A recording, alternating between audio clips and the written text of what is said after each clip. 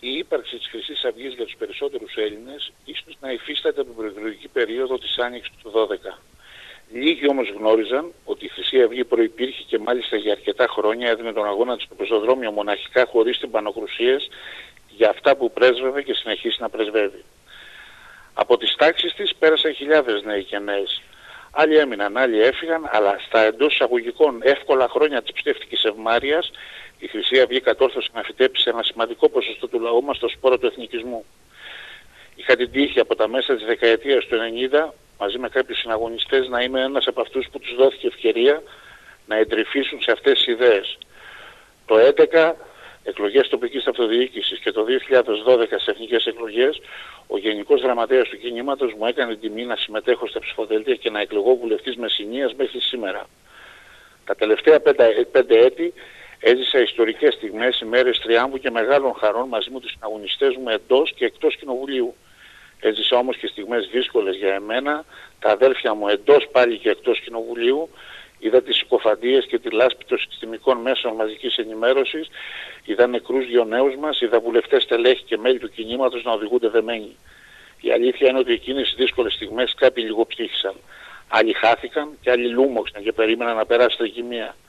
Ευτυχώς εγώ δεν ανήκα σε αυτούς και μάρτυράς μου είναι η 9ωρη απολογία μου, η καθημερινή μου παρουσία, ο κατοίκον εγκλισμός μου, αλλά κυρίως το ζεστό χαμόγελο των λίγων, επαναλαμβάνω λίγων συναγωνιστών που περάσαμε ατέλειωτες ώρες έξω από τα εφετεία και τις φυλακές. Παρόλες όμως τις καλές προθέσεις της φυλακισμένης τότε ηγεσίας μας, στο διάβα του χρόνου στο κίνημα παρίσφρισαν και κάποιοι όψιμοι εθνικιστές, γυρολόγοι της πολιτικής, παλαιάς σκοπής κομματάρχες, από μινάρια του πάλε ποτέ κατεστημένου οι οποίοι συμμαχώντας με κάποιους ετερόκλητους αγράμματους ερόλες δημιουργούν εμπόδια στο δυνάμωμα του κινήματος. Τούτε στις στιγμές η Χρυσή Αυγή είναι ένα άτι που μπορεί να περάσει πάνω από όλα τα εμπόδια. Κι όμως κάποιοι έντεχνα του φορτώνουν βάρη και του κρατάνε τα γέμια. Το κάνουν αυτό γιατί αν φτάσει η Χρυσή Αυγή εκεί ψηλά, εκεί που της πρέπει, αυτοί θα φανούν λίγοι. Από τη στιγμή που ένιωσα λοιπόν αδύναμος και απομονωμένος απέναντι σε όλα αυτά τα βαρύδια, κρίνω ότι ηθικά δεν μπορώ να βρίσκομαι δίπλα τους και επέλεξα να αποχωρήσω. Άλλωστε στην αξιοπρέπεια και στην τιμή δεν χωράνε ζυγαριές.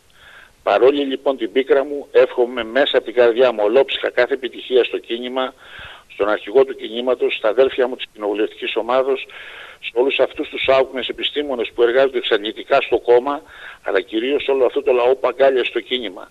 Καλό τους Έλληνες εθνικιστές να παραμείνουν στις επάλξεις του αγώνα και να στηρίξουν τις ιδέες μας και το κίνημα. Ζήτω η αιωνία Ελλάς ως ιστερόγραφο για αυτούς που θα μου προσάψουν ότι δεν παραδίδω τη βουλευτική έδρα, ένα έχω να πω, συνελήφθηνος βουλευτής και θα δικαστώ ως βουλευτής.